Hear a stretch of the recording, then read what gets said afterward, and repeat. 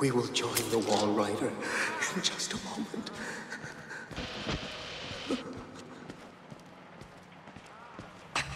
My Job, you alone shall escape the Talva. This is your penultimate act of witness. The promise of the prophets was always freedom from death. And, and here it is. You will watch and record my death, my resurrection.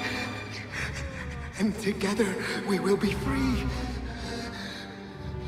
You are no longer in any danger. I fixed the elevator. It will take you to freedom. We will all of us be free. Now, my son,